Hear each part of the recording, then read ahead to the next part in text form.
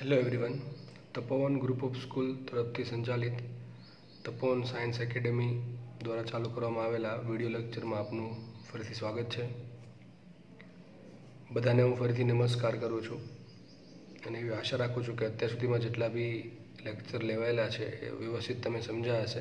દરેકનો કોન્સેપ્ટ તમને આવડતો હશે અને લગભગ ફ્લુડ ડાયનેમિક્સ હવે કમ્પ્લીટ થવા આવ્યું છે. તો આપણને થોડોક આઈડિયા હશે દાખલો કેમ ગણવો, બરાબર છે? તો આજે ફરીથી આપણે જે નીટના અને નીટ જી અને નીટના લાસ્ટના દાખલા સોલ્વ કરશું. તો એમાં દાખલો છે, આ દાખલો લગભગ ગયા વર્ષે પૂછાયેલો છે. જીમાં. તો જોઈએ, two by root pi centimeter વ્યાસ ધરાવતી નળીમાંથી આવતું પાણી પાંચ મિનિટમાં પંદર લીટર ડોલ ભરે તો એનો નંબર શોધો. પાણીની વાત થાય છે તો પાણી માટે ઈટા કેટલો હોય? પાણી માટે ઈટા હશે દસની માઇનસ ત્રણ ઘાત પાસ્કલ ઇન્ટુ સેકન્ડ ઓકે તો મારે રેનો નંબર શોધવાનો સૂત્ર સીધું છે એનું. રેનો number is equal to rho D by eta હવે rho V D by eta rho છે કંદા વી છે વેગ. આ કદ નથી. વી વેગ છે ડી છે વ્યાસ. અને ઈટા છે પ્રવાહીની વિસ્કોસિટી બરાબર છે? તો આપણે કિંમત મૂકીએ તો રો ચલો એસઆઈમાં કેટલા રો પાણી માટે રો હશે કેટલા? દસની ત્રણ ઘાત કિલોગ્રામ પર મીટર ક્યુબ. ઓકે, ચલો, આવી ગયું. તમને વ્યાસ આપેલો છે ડી બરાબર શું થાય? Two by root by centimeter છે. આપણે કન્વર્ટ કરી દઈએ એને.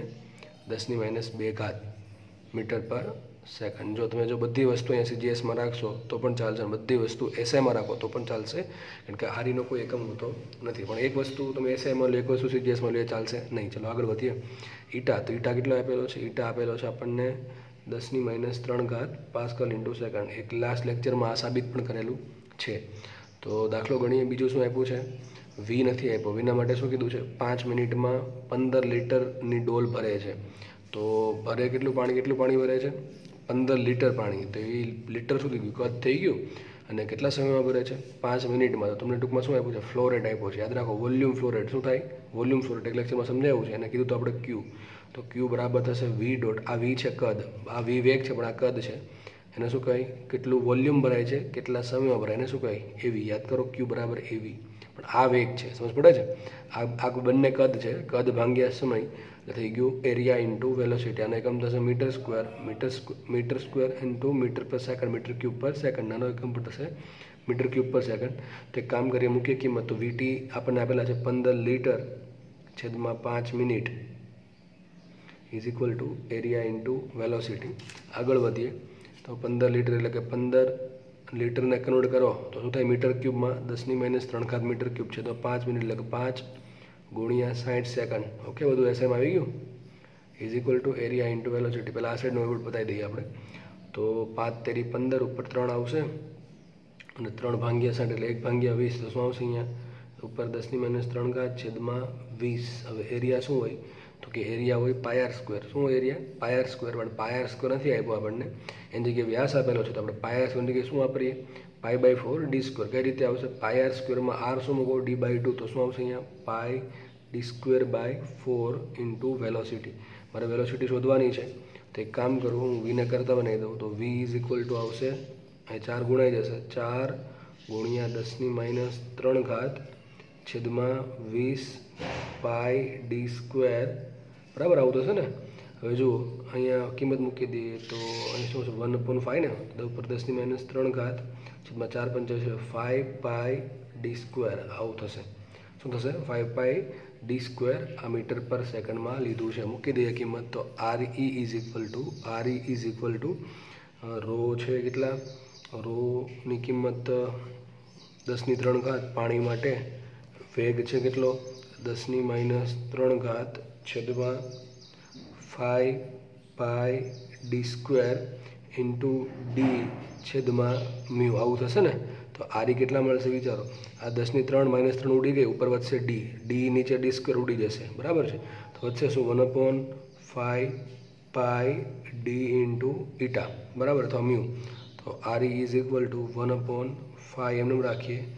પાઈ એમનેમ રાખીએ. ડીની કિંમત કેટલી હતી? Two by root pi centimeter લખેલું છે two by root pi centimeter તો two by root pi centimeter છે એટલે કે દસની માઇનસ બે ઘાત. તો દસની માઇનસ બે ઘાત. આટલું થયું? ડી અને ઈટા છે દસની માઇનસ ત્રણ ઘાત. ઓકે, ચલો.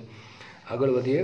આ દસની માઇનસ બે દસની માઇનસ ત્રણ ઉપર જશે દસની પાંચ ઘાત પ્લસમાં તો દસની પાંચ ઘાત આવી ગઈ. ઓકે, ચલો.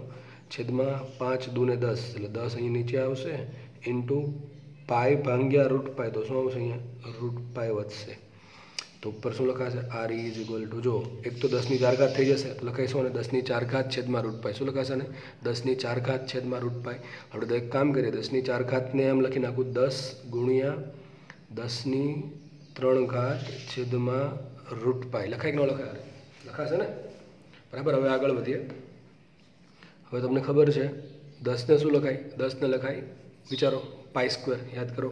તો શું લખાશે પાય સ્ક્વેર ઇન્ટુ દસની ત્રણ ઘાત છેદમાં રૂટ પાય તો આર ઇઝ ઇક્વલ ટુ દાખલો બે રીતે સોલ્વ થઈ શકે અહીંથી, પણ હવે આ થોડીક રીત કરાવું છું, જે બધાને આવડતી હશે. બાકી તો મનમાં અમુક ગણતરી કરીને પણ સોલ્વ થઈ જાય. હવે વિચારો અહીંયા શું લખાશે? વિચારો અહીંયા પાય સ્ક્વેર ભાંગ્યા રૂટ પાયને શું લખાય? અથવા ઘણાને ખબર હોય રૂટ પાયની કિંમત શું આવે તો પણ દાખલો થઈ શકે. તો રૂટ પાયની કિંમત શું આવે? ચાલો રૂટ પાયની કિંમત શું હોય? ત્રણ પોઈન્ટ ચૌદ. ત્રણ પોઈન્ટ ચૌદનું વર્ગમૂળ કાઢવાનું છે મારે. તો ત્રણ પોઈન્ટ ચૌદને કામ કરીએ. ત્રણ પોઈન્ટ ચૌદનું વર્ગમૂળ તો ન આવડે, પણ ત્રણનું વર્ગમૂળ તો આવડે બધાને. ત્રણનું વર્ગમૂળ શું થાય? એક પોઈન્ટ તોતેરની આસપાસ આવે, બરાબર છે? તો માની લો કે રૂટ પાઈની કિંમત છે એક પોઈન્ટ પંચોતેર. કેટલી છે? એક પોઈન્ટ પંચોતેર. તો દાખલો અહીંથી, આ થોડુંક લેન્થી થશે, કારણ કે શું થશે? રૂટ પાઈ તો તો બી આવવાના જ છે, બરાબર છે? એટલા માટે અહીંથી આપણે અહીંયા જઈએ છીએ. આ સ્ટેપ ભૂલી જાઓ. તો આને પ્રમાણે લખી દઉં છું દસ ગુણ્યા દસની ત્રણ ઘાત છેદમાં રૂટ પાઈને લખું એકસો એક પોઈન્ટ પંચોતેર. એક કામ કરું અને બે, સો વડે ગુણું સો વડે ભાંગું. નો સમજ પડી? ચલો ફરીથી. દસ ગુણ્યા દસની ત્રણ ઘાત છેદમાં રૂટ પાયો રૂટ પાઈની કિંમત શું હોય? એક પોઈન્ટ પંચોતેરથી થોડીક વધારે હશે, પણ લઉં છું એક પોઈન્ટ પંચોતેર ગણતરી થોડીક ઇઝી રહે એટલા માટે. વધારે એટલા માટે લાગે છે કે ચારનું વર્ગમૂળ ડાયરેક્ટ બે નીકળી જશે અને પોઈન્ટ ચૌદ છે, ત્રણ પોઈન્ટ ચૌદ. આપણે આપણે ત્રણનું વર્ગમૂળ નીકળે એક પોઈન્ટ તોતેર, એક પોઈન્ટ એકોતેરની આસપાસ. થોડુંક વધારે લઉં છું. આઈ થિંક એક પોઈન્ટ આનું આન્સર એક પોઈન્ટ સિત્યોતેર, ઇઠ્યોતેર ઓગણીસ કંઈક આવતું હશે, બરાબર? કોઈ બી એક સંખ્યા આવતી છે આપણે આ લઈએ છીએ. પછી એક પોઈન્ટ પંચોતેર છે એટલે સો વડે ગુણ્યા, સો વડે ભાંગા આવવાનું પચીસ વડે ભાગ હાલશે ભાગ કેટલા થાય? પચીસ ગુણ્યા સાત. ના, થાય પચીસ ચોકસો. એટલે શું આવશે આન્સર વિચારો. તો R E is equal to આ કેટલા થશે? ચાર દસની અથવા ચાલીસ લઈ ચાલીસ દસની ત્રણ ઘાત છેદમાં સાત. હવે સાત પંચા પાંત્રીસ અને સાત છંગ બેતાલીસ. બરાબર? તો થોડુંક ઓછું છે અહીંયા. તો સાત છંગ બેતાલીસ, છ હજારથી થોડોક ઓછો આન્સર આવશે. સમજ પડે કે નહીં પડતી? ચાલીસ ભાગ્યા સાત એવા. તો માટે લખીને કાંઈ આર ઈ ઇઝ જો સાત પંચા પાંત્રીસ, પાંચ હજાર, તો ઘણો વધારે આન્સર છે. ચાલીસ ભંગ્યા સાત તમારે કરાવો એક્ઝેક્ટલી કંઈ કરી દો અહીંયા. ચલો ને વાંધો નહીં. કેટલા આવશે અહીંયા? ચાલીસ ભાગ્યા સાત સાત સાત પંચા પાંત્રીસ, વધ્યા પચાસ. બરાબર છે? સત્યુ ઓગણપચાસ, વધ્યા એક એટલે I think five seven one zero તો શું આન્સર આવશે? ફાઇવ સેવન વન ઝીરો તો આ આન્સર હશે. કેટલો રેનો નંબર હશે? ફાઇવ સેવન વન ઝીરો આની કિંમત કેટલી છે? જો ત્રણ હજાર કરતાં વધારે છે, તો આન્સર સોરી અહીંયા થોડુંક દેખાતું નથી તમને. આન્સર આવશે કેટલો? મેં શું કર્યું? ફરતી કહી દઉં છું કદાચ દેખાડું ના હોય તો. દસની ત્રણ ઘાત દસ, દસની ત્રણ ઘાત રૂટ પાય છે. રૂટ પાયની કિંમતમાં લીધી એક પોઈન્ટ પંચોતેર. હવે આ સ્ટેપ મેં થોડુંક લેન્ધી થઈ જાય એટલા માટે મેં અલગ રીતે વાપરી પછી મનમાં. તો રૂટ પાય હવે એક પોઈન્ટ પંચોતેર, તો એક પોઈન્ટ પંચોતેરને સો વડે ગુણ્યા, સો વડે ભાંગ્યા એટલે એકસો પંચોતેર થઈ ગયા. પચીસ એકસો ને પચીસ સત્તા, એકસો પંચોતેર. તો નીચે આવશે અહીં ચાર ગુણ્યા દસ, ચાલીસ ચાલીસ દસની ત્રણ ઘાત છેદમાં સાત અને ચાલીસ ભેંગા સાત કરીએ, તો ચાલીસ ભેંગા સાત આવડતું હોય ડાયરેક્ટલી મેં પહેલાં કીધું હતું છથી થોડોક આન્સર ઓછો આવશે અને પાંચથી તો ઘણો મોટો આવશે. તો તમે પણ ઓપ્શન ચેક કરી શકો છો કે ઓપ્શનમાં એવું હોય. માનો કે ઓપ્શન થોડાક નજીક નજીક છે, તો ચાલીસ ભેંગા સાત કરતાં આન્સર લગભગ પાંચ પોઈન્ટ એકોતેર જેવું કંઈક આવશે. બરાબર છે? તો આન્સર આવું કંઈક આવી જશે. જે આંકડો કદાચ આવી શકે.